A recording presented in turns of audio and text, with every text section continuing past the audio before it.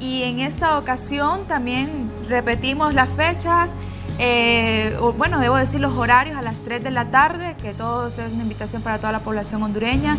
Así que un abrazo fuerte para la familia Ferrari y Villeda. En la, la misa se llevará a cabo en la Basílica de Nuestra Señora de Suyap a partir de las 3 de la tarde. Ahí en pantalla se está viendo el comunicado y de la nota luctuosa. Acto seguido se hace una conmemoración de parte de Televicentro, Teletón y el Club.